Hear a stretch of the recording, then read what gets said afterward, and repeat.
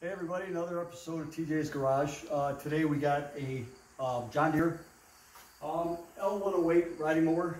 Um, guy down the street spun his belt, ripped it in half. Um, wasn't sure really what was going on. So we checked it out and we found out that one of his spindles was bad. So what we did was we ordered the entire kit. Okay, so if you order each one of these spindles individually, it's to cost you an arm and a leg. So we just went on the old Amazon, uh, did a Google search, we got the idler pulley here, tensioner pulley, both spindles, which one is already on, comes with the bolts and everything, uh, two blades, and the OEM belt. Um, and everything was like $106 for the entire kit. So how we diagnosed this was, checked out the spindles.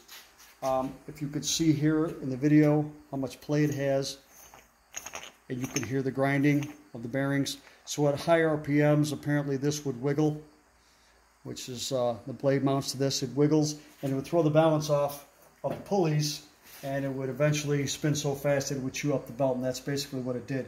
So here's the good pulley or spindle. You don't hear anything. And this is the bad one. And you can see the play in it. And this is what his blades look like. They look like they were sharpened with a rusty butter knife. So if you look there, Clearly there's something going on with the blades. So instead of just replacing one or two parts, which would be the blades, the belt, and one of the spindles, you just do it all. Okay, so the entire kit is 106 bucks. It's very quick and easy to do.